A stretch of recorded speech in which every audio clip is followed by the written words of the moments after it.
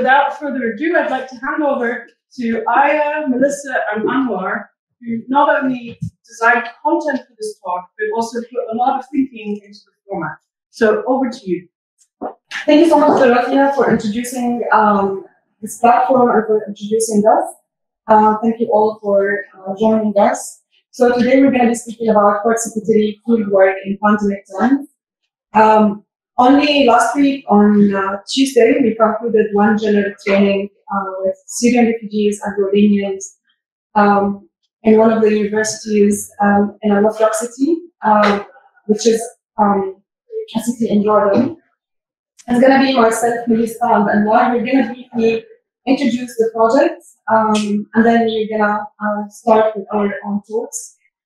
Um, so PPE for refugees um, is a collaboration between different partners. One of them is University of Sheffield, University of Petra, where I'm coming from, um, University of um, Arts in London, of London Arts. I can never pronounce it in the right order. Uh, and University of Alberta together with UNHCR. And uh, PPE stands for Personal Protection Equipment for Refugees, and it was a call based on previous collaborations between UNHCR and the University of Sheffield, mainly by Tony and Helen uh, Storey. Um, and the call was to assess in this emergency um, that happened due to the pandemic. So how do we work? We work through three main working groups, the social working group, the technical working group, and the digital working group. We ourselves today, myself, Melissa, and Anwar, we stand to speak about the social working group experience. We have other colleagues working at the technical working group and the digital working group who have been part also in a way of um, um, that they were important in that general. What is PAR? We're going to be referring uh, quite often in this talk to PARs, and by PAR, first of all, as you, as many of you may be familiar, Okay, as many of you may be familiar, uh, PAR stands for Participatory Action Research, and whenever we mention it in our talk today, it is to refer to uh, participatory action researchers who have been recruited and trained um, in this uh, training. All right. So we're trying to. So one of the main one of the main calls that our project is trying to address and respond to is the problem of livelihoods uh, that have been uh, terribly hit in Jordan and through many sectors. Um, and what we're trying to do is to address ways through participation and through these different social working, uh, three, these three different working groups, and how can we possibly find ways with people following a participatory action research approach to address and to respond to this, um, to the pandemic and how it has affected livelihoods. So we're following a plan for training. We're, we started with general training, uh, which we're going to be speaking about today. Uh, we're planning for the advanced training on which we're going to be requesting your advice um, in the second part of, this, of today's workshop and um, any input on long term um, if you have any it's because it is something that we continuously think of once we leave this project once it's concluded um, how are we going to be um, still um, leaving something that people can work with after we leave. So here's a brief diagram uh, for a table for the training. So we, we had the training started on 27th of September. Um, it was about under, understanding participatory action researcher, uh, research, uh, what it means. Uh, we wanted to bring everyone on board on that. The second part is understanding geographies of pandemic, um, ethics and uh, data protection, as I said, it's the three working groups actually contributing to this table. And then methods of social, digital, and technical methods. Um, and then how to design interventions.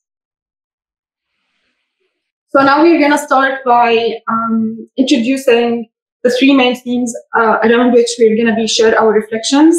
If you bear with us, we're going to be telling you a form of stories. Um, and we thought that the three themes that we would like to um, crystallize our thoughts around our promises and lies, trajectories and ambitions, and on positionalities.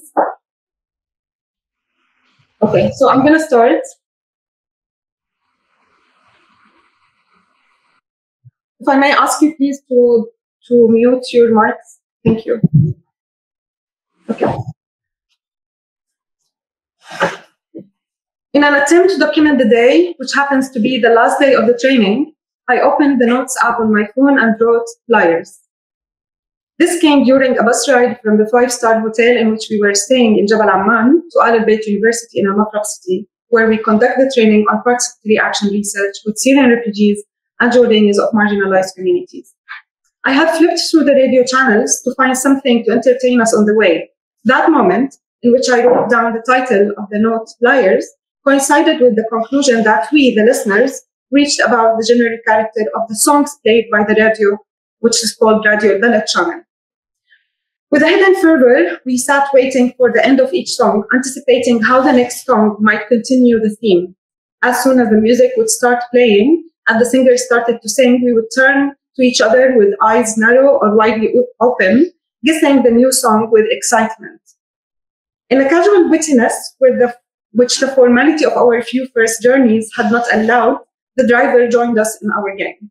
It seemed that someone had lied to the DJ and did not give him his salary, the driver said. I asked the driver to slow down so we could finish our game with the DJ at Radio Balad. He slowed down. It occurred to me that Uday, the driver, had really liked our company. Moving in a very slow and soothing motion that allowed for unshaken sips of coffee, he moved into the right lane of four slower traffic. Neither of us wanted the journey to end. However, fate had decided otherwise. Fate or the flattering radio waves in the vast desert of Mafraq disrupted the radio transmission a few minutes before we reached the university. From there, we rushed to, to reach AABU, Al Bayt University, eventually arriving on time.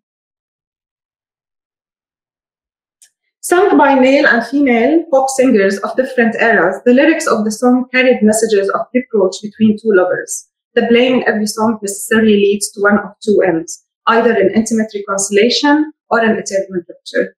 Yet the ups and downs in music and melodies were suggestive of what's not being said, which is referred to maybe as political negotiations. For example, in her song, Your Lies Are Sweet, Kizbak Hilu, Mayada Basri says, the best thing about you what keeps me attached to you is that your lies are kind of believable. Yeah, stay as you are. She knows that lying is an inherent characteristic of her lover, yet it is his lying that keeps her attached to him. Her lover's ability to be believed is related to her desires and expectations. Her future becoming in this love is founded in her dependency on what he says, on what he promises. When she says to him, yeah, stay as you are, we don't fully understand if what she means is real or if she too is lying, meaning that she's mocking his lie and the expected estrangement that led to it. The playlist of lies was still replaying in my head when one of our pairs asked me a question on lies. On that day, we spoke to our pairs about the plans for the advanced training. We spoke about field work, data collection, and how we will be doing our best to facilitate their knowledge in the field to make livelihoods. When we knock on people's doors, people will ask us about the use of this project to them. How are we going to respond? He followed his question. I mean, we cannot go there without having a planned response, and we cannot use livelihoods without truly understanding their needs. Otherwise, they will think of us as liars. In a previous discussion that I had with one of our interns, he warned of our course. He warned us against our frequent use of the word livelihood and explained that what livelihood means to the local community are three things job opportunities, funding for small projects, and training courses.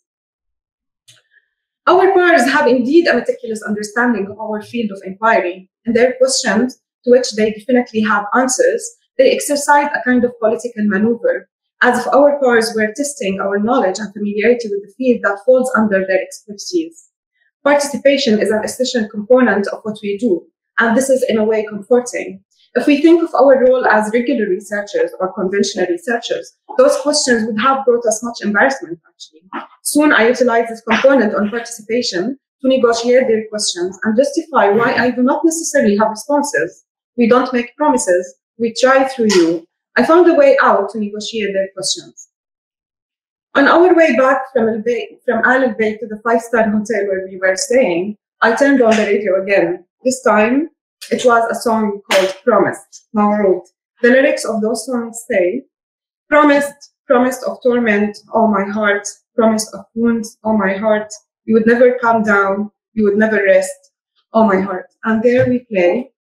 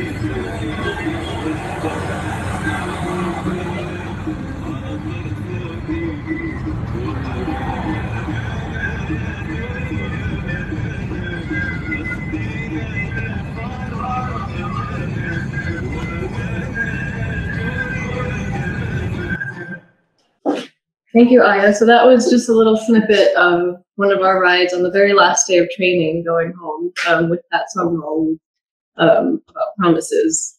Um, so now you've, you've taken a little bit of that traffic, very heavy traffic uh, journey with us. Um, so now I'm going to add to what Aya uh, shared about the last day of training. I'm going to take it a few days before that and look at the second half day of training, um, second to last day of training. Um, so in the second half of the general training, PARS attended sessions on social science research methods. The first session of the day was led by Aya on behalf of the social pillar.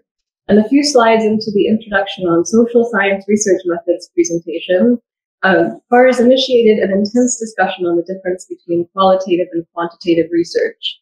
I watched from the side as Aya moderated this discussion, and all three of us, Anwar, myself, and Aya, are qualitative researchers, and yet it soon became clear that many of the PARs had little understanding of qualitative research, both the methods, but more importantly, also the outputs.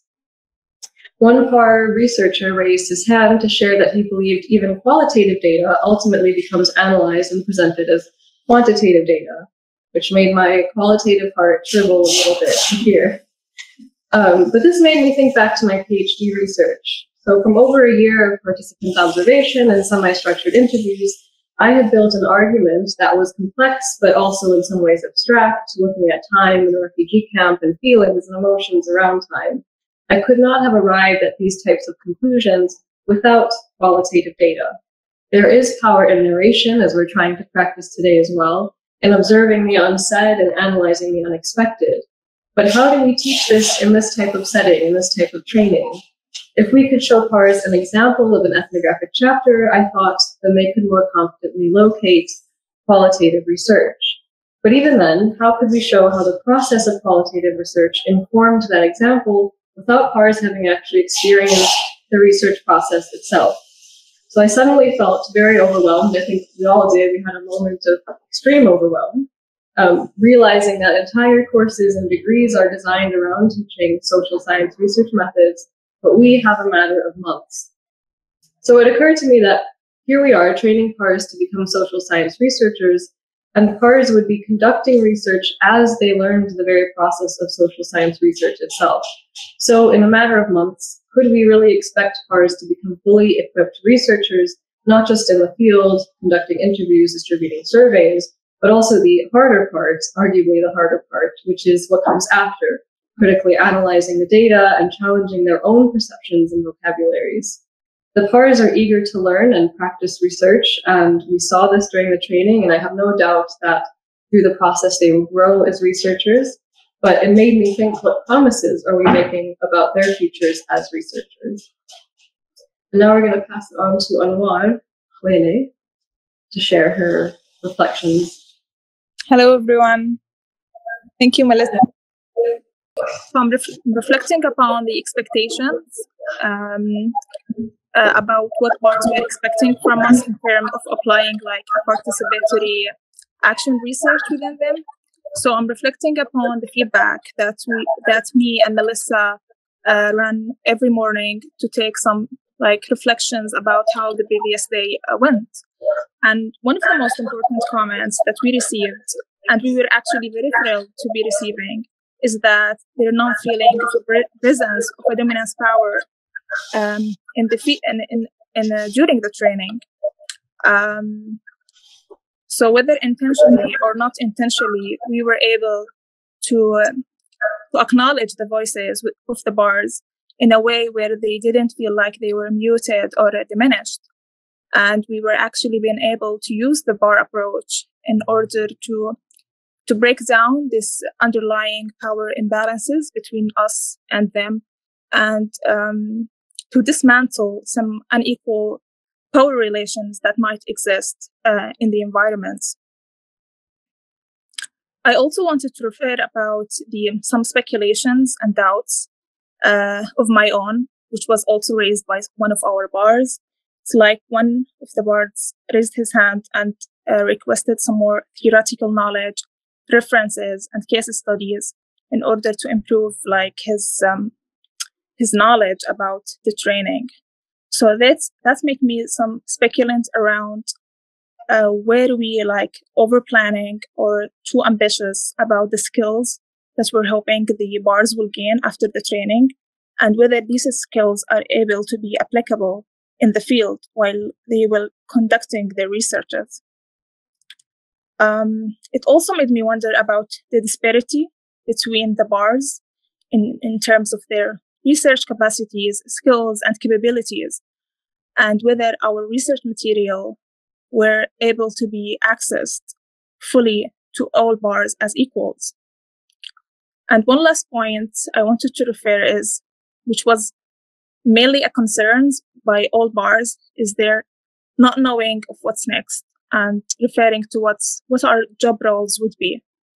And this makes me wonder uh, if um, like the bars with this diverse capabilities, research capabilities, been able to reflect upon their own experiences and their own skills in order to utilize these skills in their future researches or the new future uh, research ideas that they're hoping to um, to pursue during the uh, next three months. Um, uh, so yeah, I think this is this is was the main concerns or reflections that falls under the umbrella of promises and lies that we uh, wanted to reflect upon from using the bar voices and not mine. So thank you. Thank you, Anwar. Okay, so now we're moving to the um, the second part. I may ask you, Anwar, to um, everybody else to mute, please. It's the fifth day of the training, and it's still not possible to remember the 36 names of course.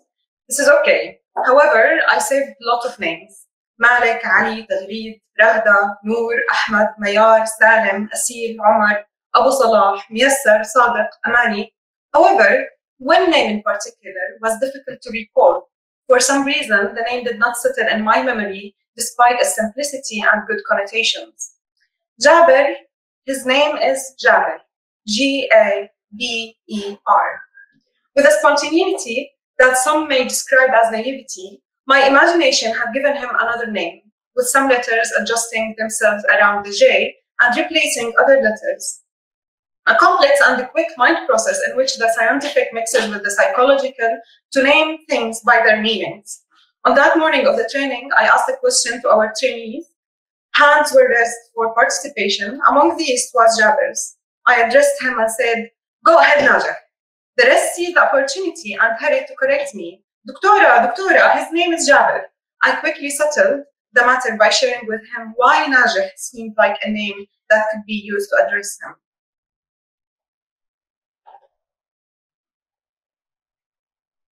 I know that your name is not Najah, but do you know why my imagination chose this name for you?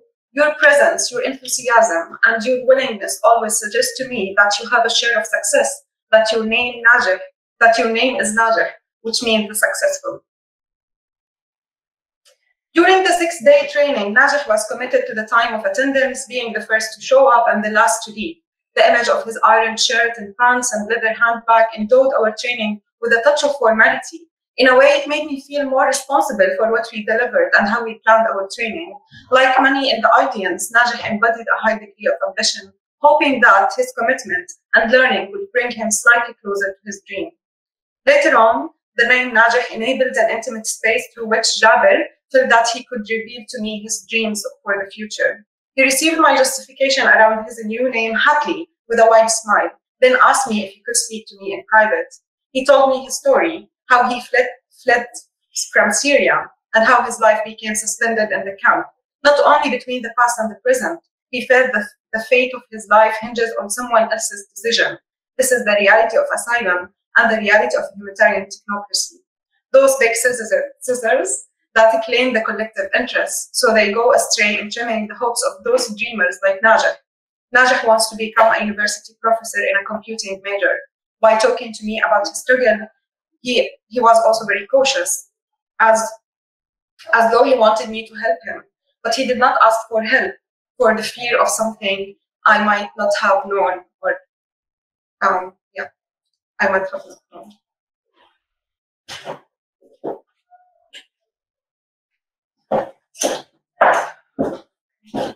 Thank you, Aya. Um,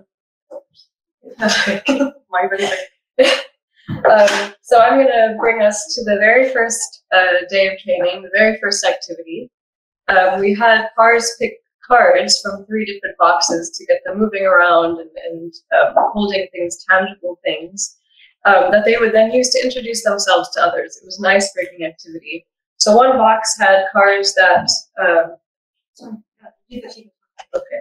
Um, so one box had cards describing work professions and sectors. The second described their specialization, like their degree, for example. And the third, a fun one, was birth months and zodiacs, um, zodiac signs.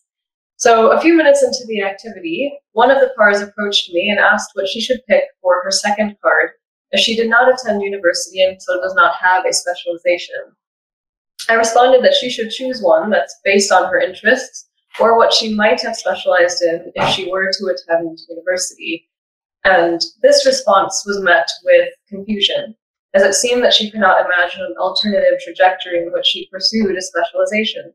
So instead, she merely thanked me and quickly returned to her table without a second card.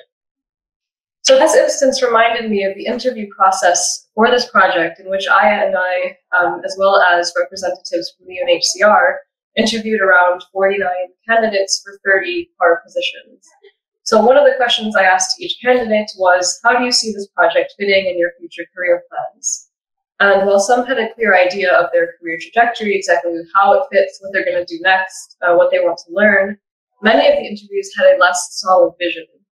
The CVs that we looked at were filled with certificates received in similar programs in the humanitarian sectors but actual job opportunities resulting from such certificates were scarce. So while we are here encouraging pars to imagine otherwise, imagine an alternative life trajectory, all of them occupy a more rigid reality in which options are actually quite limited. So the training, while an empowering exercise, or at least intended to be an empowering exercise, is merely one part of just a job or one of a few for some of the pars. Alongside questions about social science research and geographies of the pandemic were more tangible questions. So what do you mean by livelihoods, as I was uh, talking about before? How many hours can we work on our contract? And the big question, what happens after February 20th, 2022, which is the last uh, day of the project? We're also engaging with pars of various skill levels. So some have conducted research before and have some experience. Others have less experience, but a lot of potential and passion. So how do we continue to build their capacities without leaving others behind?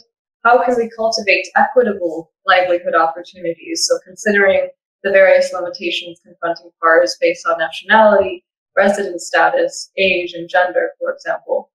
And at what point does our active encouraging ambition set the stage for broken promises? And that's me. So Anwar, would you like to add your reflection?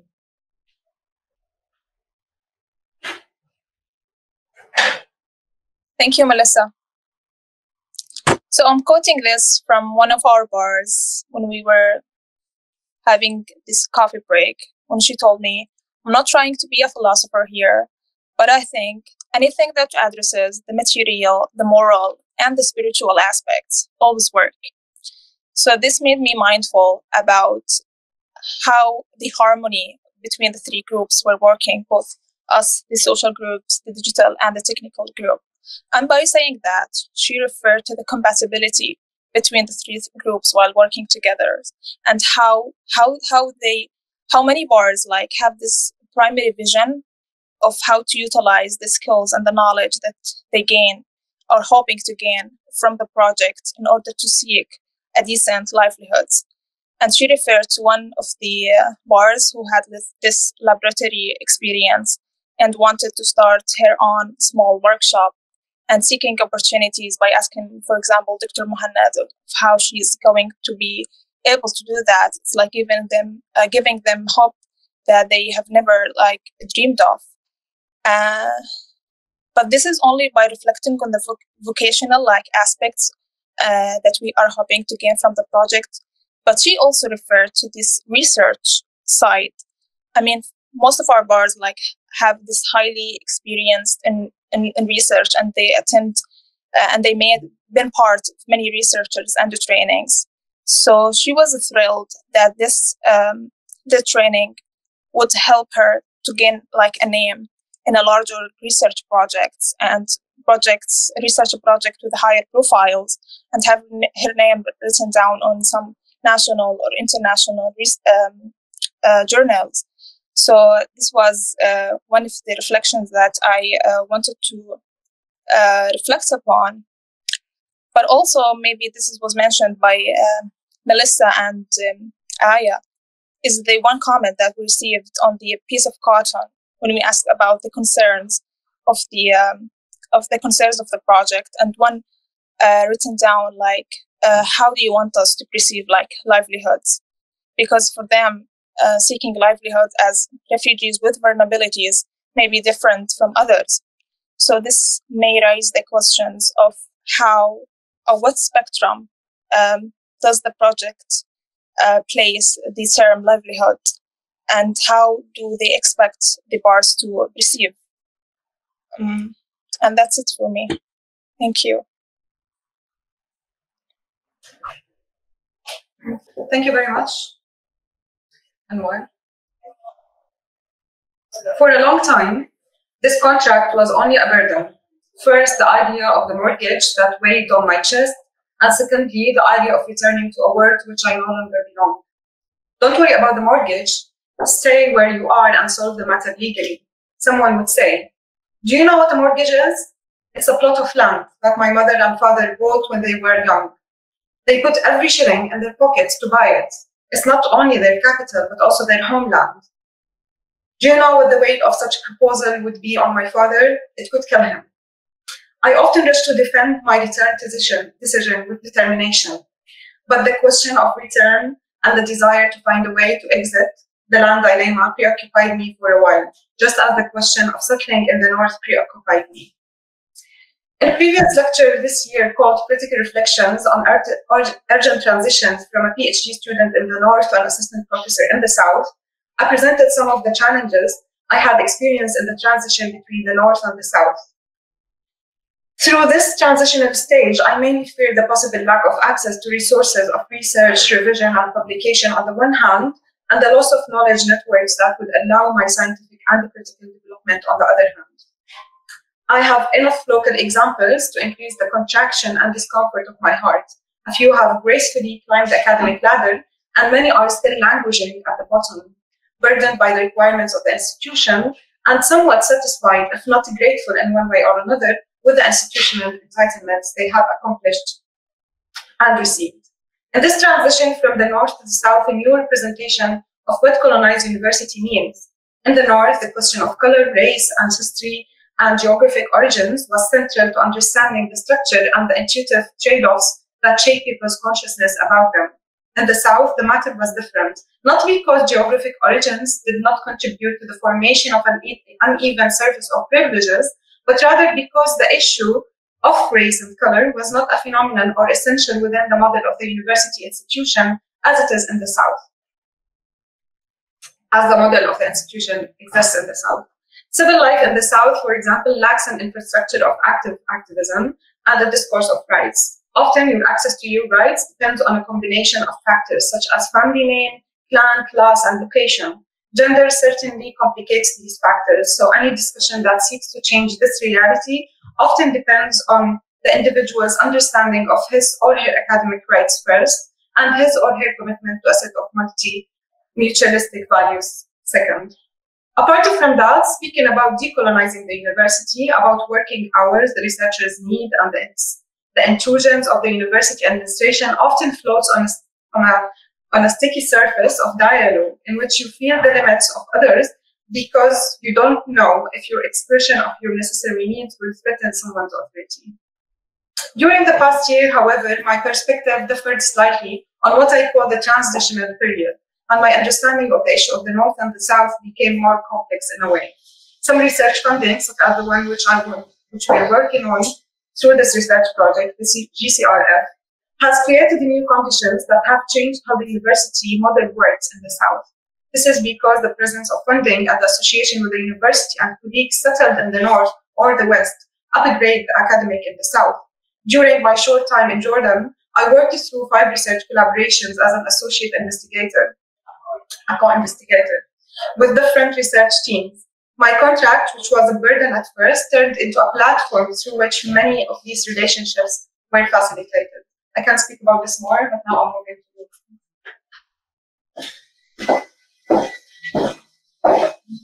you. um, how many Arabic speakers do we have in the room today? One. Steve is another. Myself had this conversation. Arabic? No, but but uh, just to see as I will be using some Arabic, and I know um, the attendee list there are quite a few uh, Arabic speakers. So whenever I'm in Jordan, I must cons- consistently explain that I can speak Arabic when I am introduced to new people. Yes, I speak Arabic. I learned it in school, but I picked up the Jordanian and Syrian dialects through my work and research over the past 10 years. No, I do not have any Arab heritage, etc., etc. It's basically the same conversation every time. On this trip in particular, for the general training, it became routine for these introductory encounters to be followed by a test or a pop quiz. So in one instance, the man I was introduced to told me Sabah al-Khair, which means good morning. And in the middle, this was in the middle of the afternoon, it was like 3 p.m., just to see if I knew what the proper response in a dark was. In a very dark place. There was no sun. Um, in another instance, someone turned to me mid conversation to say Chief Kailich, which is how are you in a very rural colloquial accent from southern Syria, um, which is when they pronounce certain things with, with a different uh, Hawrani, yes, thank you, Osama, uh, from the Hauran region. So he wanted to see if I would understand that and respond correctly.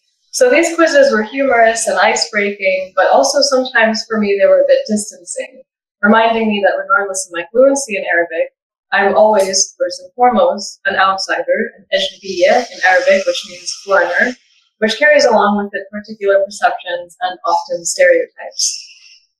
So as a research associate on a project based in the global north, my work in the fields can feel like a balancing act. So I have navigated my positionality as a young, female, American, and half Puerto Rican northern researcher in similar southern contexts before, so namely through and PhD research in Zaatari and Azraq camps in Jordan. And I tap into linguistic and cultural fluency in order to account for this distance that interlocutors in the field may perceive from my appearance. And it's indeed very satisfying, especially during the trainings, to be able to have participated um, and build interpersonal connections because of this linguistic ability and uh, cultural understanding. While I was able to participate in trainings because of the language, for example, there is still no avoiding the danger of the white savior complex. And I'm always hyper aware of the weight that my presence holds in an environment like that of the training. So during the training, this was sometimes an uncomfortable uh, position to navigate. And especially given the short time of the general training, it was over about seven days, I did not want to intrude in the space for Southern colleagues like Aya, but also others from um, Al al-Bayt University to carry out the training to implement it, while also wanting to provide support for the trainings and to meaningfully engage with the PARs for myself. So I found for me the best way of engaging with the PARs was in small group discussions when I was able to circulate around the room and have more intimate conversations with PARs in which I can more easily navigate power dynamics. In larger group settings, I focused instead on providing support for Aya and for um, Anwar, who would be the ones who would stay, continuing the work on the ground, in the field, after I returned to Sheffield. So this is exhibited in pictures from the general training that we have, uh, have been on the slide so far, uh, which focus on Aya and Anwar implementing the training taken by myself from behind the camera. Uh, beyond the quick general training, I do feel that the lengthier advanced training will provide a more comfortable setting for me to step into more direct implementation as needed. The shared theme of the various positionalities in the training room is precarity. So during the first year of the pandemic, I experienced the precarity of being a newly minted PhD in a very rapidly changing job landscape. Um, so when I began my full-time work on this project, I transitioned into a different type of precarity, employed, but on a very short contract. So along with the PARS, I also often worried about what's next. Will I be able to line something up for after the project ends on February 20th, 2022?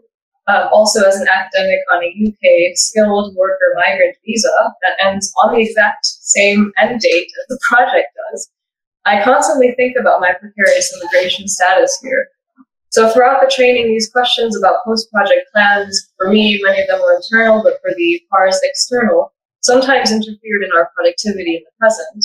But it is challenging to produce and perform an unstable present as we've seen kind of throughout the pandemic.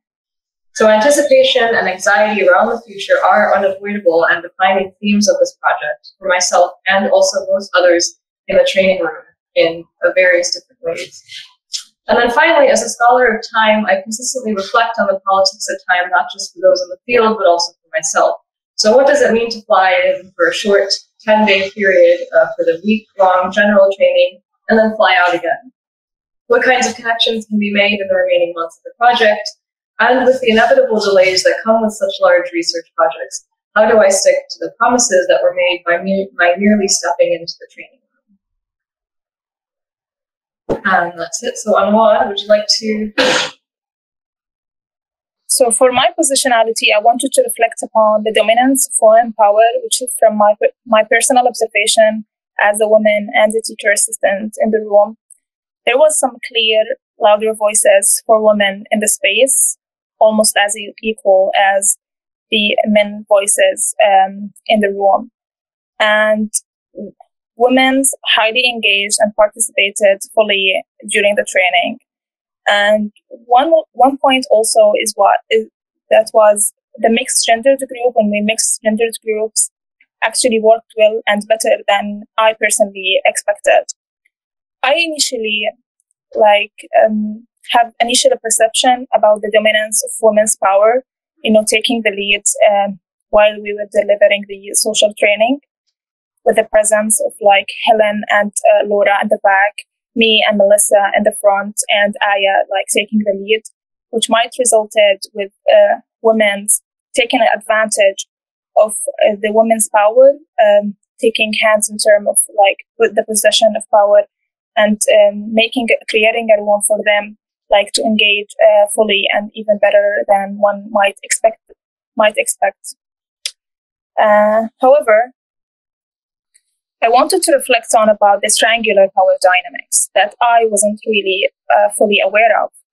Uh, it was when Aya gave me the opportunity of delivering one of the training um, one day, which I was like fully happy about, and I think that I did well while delivering this training. However, once I finished, I took some feedback from the PARS, like how the training went, what do you think of the material, and suddenly I found them reflecting upon me as an RA, like how I acted, how I behaved, when when the times when I uh, took control and lost control. And this made me conscious and mindful about how my position as an RA and a co-I or research associate might put me in um, in, a, in a space of a social vulnerability or, or a social risk of being evaluated by others. This was important, like to keep in mind if I am about to deliver the trainings in, for example, in the advanced training and how that might affect the research um, process and with the PARS would take the RAs like seri- as serious as the co-Is or the associate. And it's also important to re-reflect upon uh, while I will be delivering the general training for the refu- for the PARs in Zaatari. Because this triangular power dynamics between the researchers, the PARs, and the RA won't exist since, for example, Melissa won't be there and perhaps Aya won't be there. So this one, this one, um, this position of mine that I wanted to reflect upon. Okay, as for insider, outsider, as an RA that I wasn't there when the interviews happened and the recruitment happened, and I was only able to meet the PARs at the first day of the training, I wanted to reflect upon how the PARs might perceive me, which might be as an outsider. And also, I might be perceived by the other researchers and, uh, and as an outsider. But for me, I somehow position myself uh, like this external insider.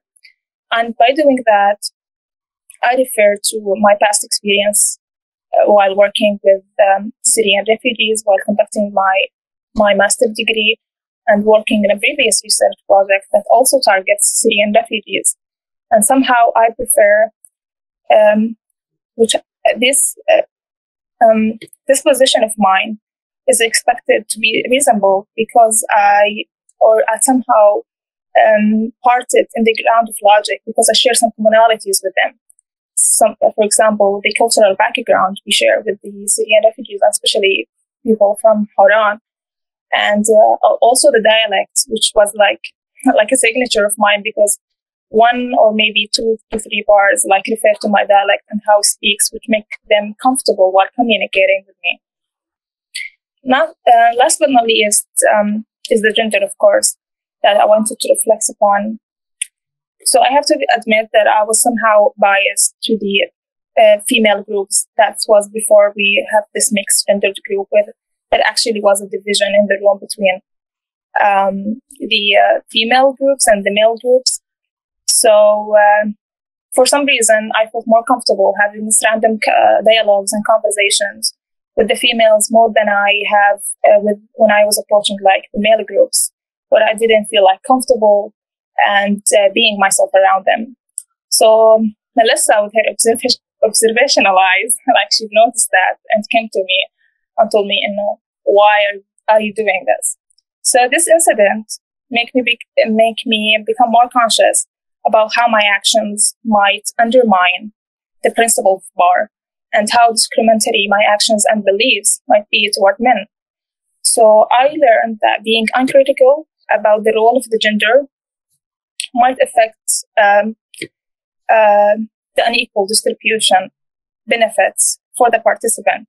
And this is where I felt like there is an urgent need to readjust my positions for all PARs, where I have to intentionally address my privileges and actions um, uh, and be conscious and make this conscious effort to view men as equals. And um, yeah, that's it for me. Thank you. Just one more time because we were on mute. So that's um, our reflections, and I guess we'll take questions for I don't know five ten minutes. I know people have to leave, and then we'll have a break and go into the workshop aspect. If people online want to stay for the workshop, then please do. Well, I think I probably speak for many in the room to kind of say that that was absolutely fascinating. And um, thank you also for um, taking the storytelling approach, because um, I, I, think it does allow us ways in, um, which otherwise just is not spoken enough in the academy. Um, so thank you for that, and I think we'll probably need some time to digest over also into the break and into the workshop. But if there are any immediate um, questions or comments that you would like to make, maybe we will take, you know, five minutes or so, possibly ten, depending on how much people have to say. Um, just respond immediately. Anyone?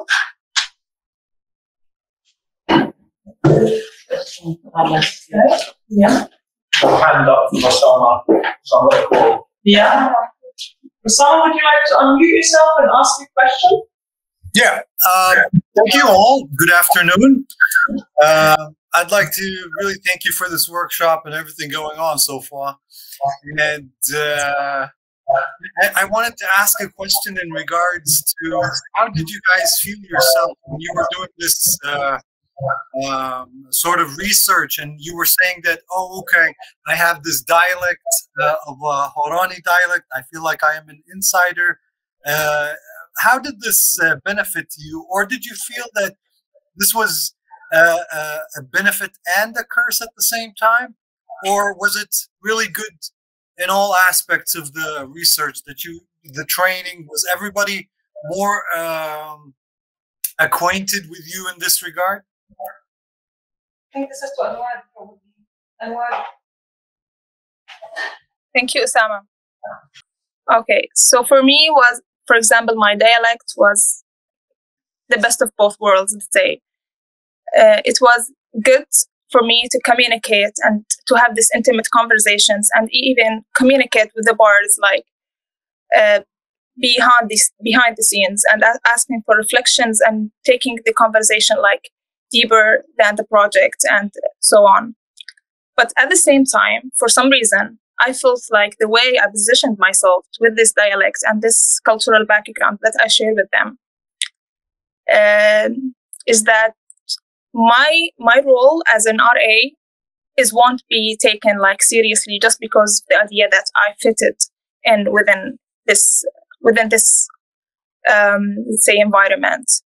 So this reflection comes after, but I think if we, if we're talking about benefits, it was a benefit for me more than it was a burden. So I think I hope by by, by that I'm answering your question. So Yeah, yeah, perfect. Thank you very much. Thank you. Thank you, um, Anwar, and also Osama for your question. I think we've got time for maybe one, maximum two more questions, so we have some time for the workshop. I've got Helen's um, uh, question and also Mara.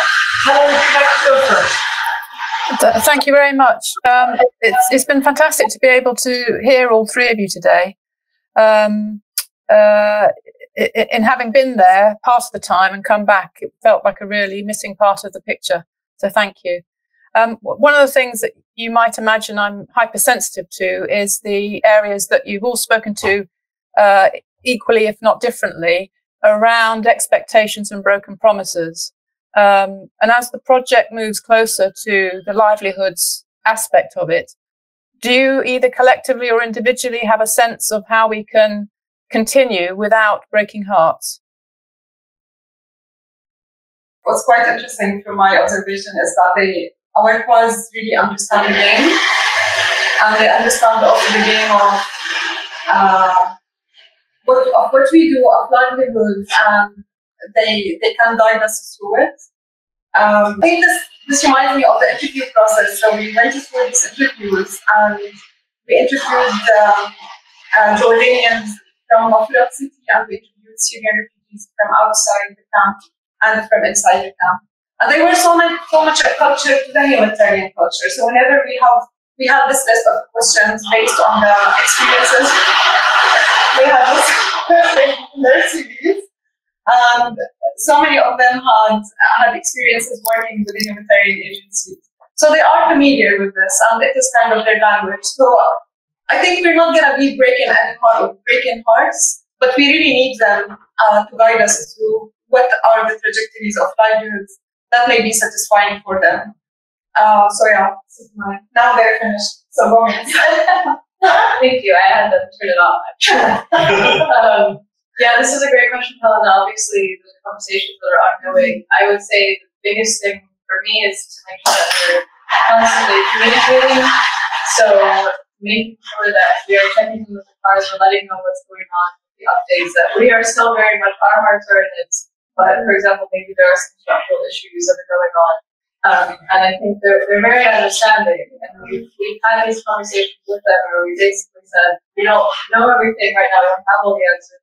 The idea that Aya is developing her reflection, the idea is that we're working with you to uh, kind of navigate through this together and issues that come up. So I think for me, a big one is communication. communication, and I think there was very much a value for love in the space. So I think there was this vibe of really working together. Um, yeah, and that that was like this mutual mutuality, mutual respect, mutual uh, understanding. I think there was this vibe. Right. I think there's a lot there to unpack that we could also carry on, maybe also carry into the workshop. There was Maha, Maha. had Yes, I've got Maha as a- on, on next, um, our next speaker. So just to say, we will probably have quite a few issues that are, you know, that, that we may want to also carry on into the workshop space. So, um, Dr. Maha, please. Uh, hello, everyone. It was really nice to be part of this uh, lovely, let me say, lesson in life. Uh, well, it was, uh, I've got many questions to ask, but let me summarize them or maybe just pick the important one and, and ask it. I was just wondering about the interviews you made to, uh, with the participants that were part of this project. What what was the criteria that you used to to pick them up, or was it just um you know a, a get to know interview or to be familiar with the participants, or there or or there was a criteria to pick the ones that was accepted in the uh, in this project? Thank you. Thank you so much, Dr. Thank you. So lovely to see you. um, okay. Um, it's, it's a very long process, actually, the interviews. Um, just to give you a background, so this is a fund that was, it's, it's a collaboration with the UNHCR, uh, the University of Sheffield, uh, University of Edinburgh, University of Petra. Um, so interviews happened through mainly through the UNHCR. So we and the University of Edinburgh, our partners, and there was so these are job opportunities. So the funding that we received is actually to recruit these people on the training and to have them. Uh, the training is like a job for them. So um, so when we announced for this job, um, we followed the, the routes that are already existing within the UNHCR. For example, when they announce for a job, what kind of um, what kind of recruitment criteria they have. So there were there was already structures through which we navigated and we tried to follow. Uh, so we posted two main announcements: an announcement for speaking about the social, like taking also into consideration that the set of skills that we need for a social researcher is different than the set of skills we need for a digital researcher and for a technical researcher. So that's in mind. Um, we also navigated through the UNHCR already uh, established forms of announcements. We made this announcement according to the UNHCR, but also outside for our Jordanians. Um, speaking of the social research group, some of the skills we wanted people like to, to do interviews, to have um, experience in community mobilization, um, to have work, to have been worked as a researcher. So um, yeah, we had three pools for shortlisting some people with social work experience, some people with research experience, and some people with DG social experience. So this is this response to your question, Dr. And then we follow the scale of salaries as given by our partners. Can I just add also, um, so when we were choosing the PARs, we made sure that we were also taking into account the opportunities that different people have had based on their nationality, gender, age, for example. So we were, we wanted a good mix of people with lots of experience, but also people who had the passion, obviously, maybe had a lot of volunteer experience and had a lot of potentials. The idea was to kind of balance that out for amongst them a good a good mix of people can learn from each other. Um, so a lot of thought went into this. There were a lot of criteria, um, and uh, I think one of the best things about the interviews, though, was that it was a, it was an opportunity for us to get to know them um, through that process as well. So that did obviously happen. Um, it's very fulfilling. Yeah.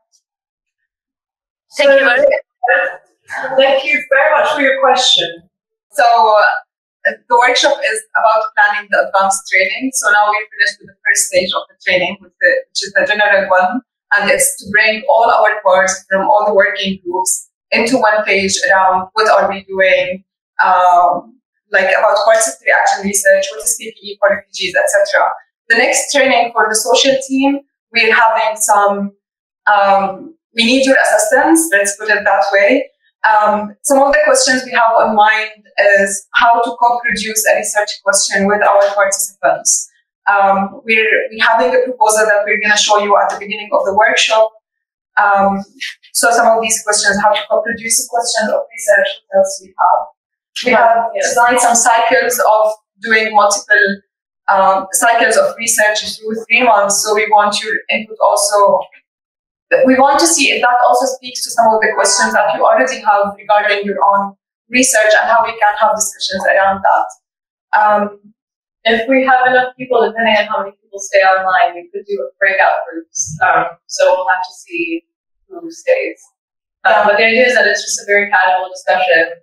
Uh, we'll have Dorothea and Steve uh, run the breakout groups online, um, and then maybe come together at the end to hear some of the kind of last thoughts. And it's really not only about what we're doing, it's also about what you're doing. We want to hear if some of our questions resonate with your own experiences. If you have more questions to add, that would be great. Yeah, so this is five minutes of the break garden. Great. Yeah, thank you. So we're going to come, we're going to take a comfort break now, and at 21 past, whatever your hour is, uh, we are we're going to come back together. Um, and in the meantime, please take a quick break, and then um, we're going to into a sort of a practical workshopy space. Um, there'll be breakout groups online as well as here in the room. Um, so please do join us, and it's going to be on this channel slash at 21 past. I'm going to tell you what a link for breakout group is if it's somewhere else. So stay tuned on this channel.